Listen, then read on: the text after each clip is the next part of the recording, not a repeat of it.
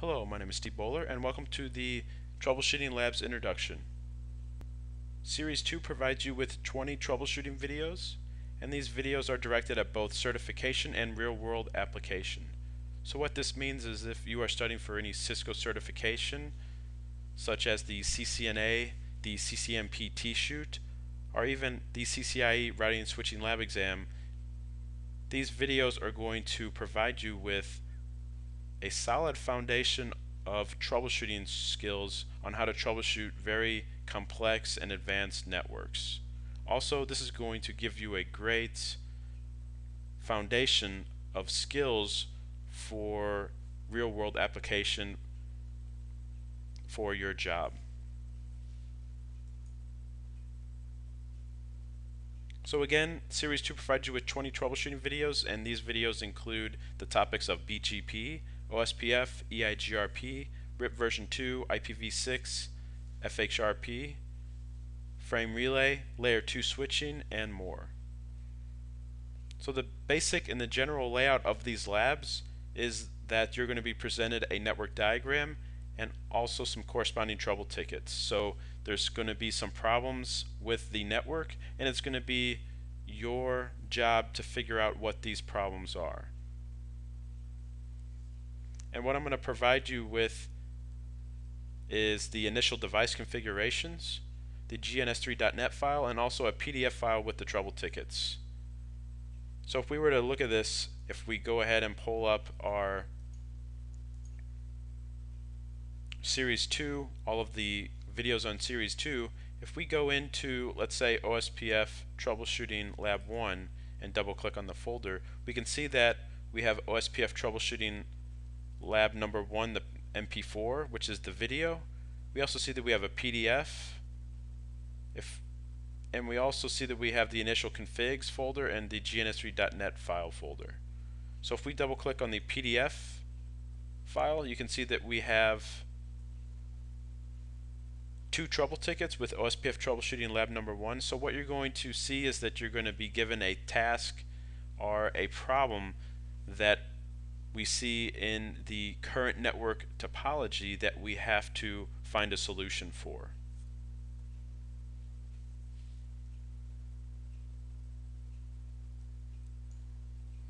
So also we have the initial configs. Again in this lab we have two routers, router 1 and router 2 and there are text files. So the way we would do this is we would just copy this whole file and then we will go and start our .NET file our build out our network topology however you want to do it.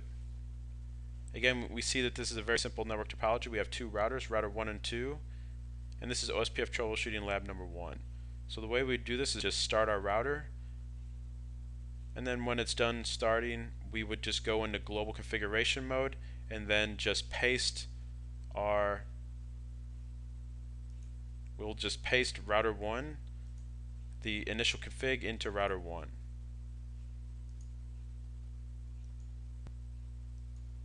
So that's how you would start one of the labs. And again, what you want to do in, in this scenario is you can get both the routers up and running and then you can go ahead and read the PDF. So again, the PDF in this case is going to be OSPF troubleshooting lab number one. You just go through and try to figure out what the problem is with the network. So what you can do too is you can follow along with me in my video or you can just watch the video if you don't want to or if you don't have access to a lab or GNS3 and you just want to watch the video you can go ahead and do that too. So what I'm just providing you with is a lot of different options.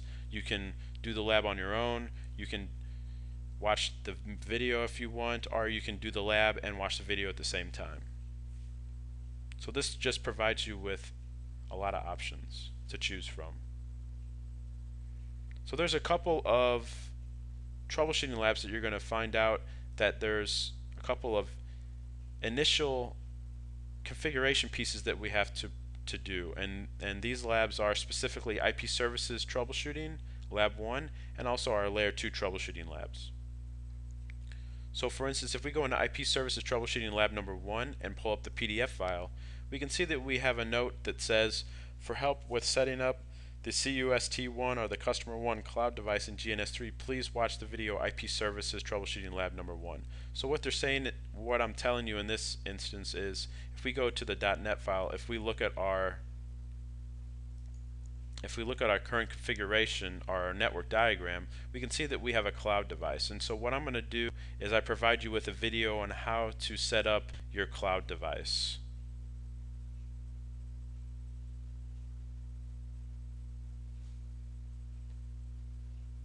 So this is going to be very helpful for you to get the initial configuration done before you can start troubleshooting.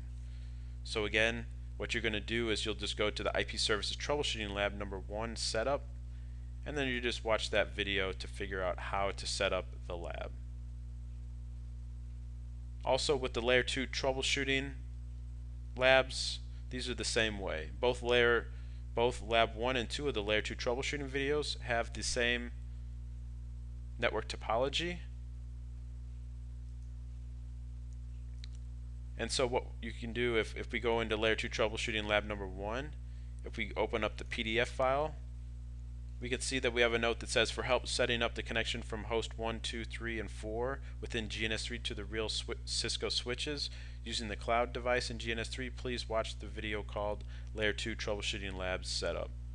So layer 2 troubleshooting lab number 1 and 2, you're going to need real Cisco switches to follow me in these videos and practice these videos on your own.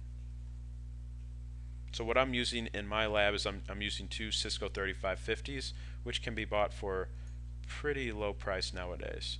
If we go back to our folder for layer 2 troubleshooting lab 1 if we go into the gns3.net file if we go into that folder and double click on the .NET,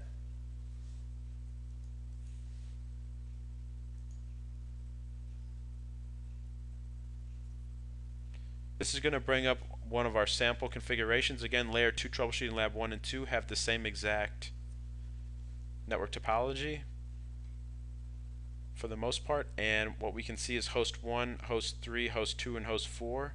These devices are going to connect to the cloud Again, this, these are devices within GNS3 and they're going to be connecting to our real Cisco switches. So I provide you with a lab on how to set this up. I'm sorry, a video on how to set this up. And you can see this is the video called Layer 2 Troubleshooting Labs Setup. So you can go ahead and just open up this folder and watch this video and this will help you with configuring this the layer 2 troubleshooting labs. So again, the once you do this once or twice, you'll get the configuration down pretty well and you'll know how to do it. It's it's not too hard to do. But again, it acquires some some extra attention to detail and that's why I created an extra video for you guys to practice these troubleshooting labs. So again, I just want to I just want to bring that up to you just so that you know.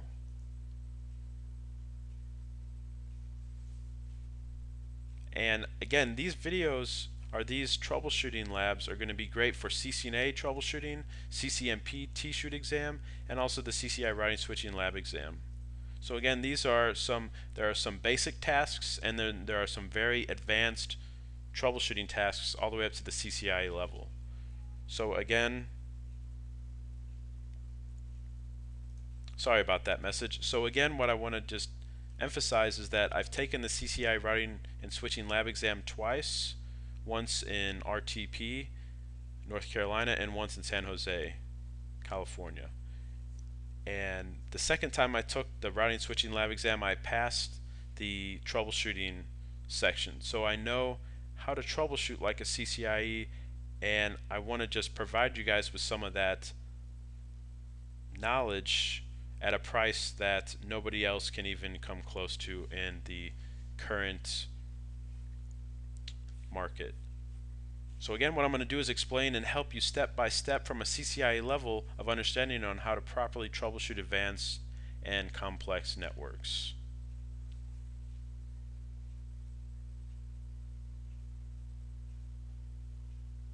So thank you for watching the video and I hope to see you in the next one.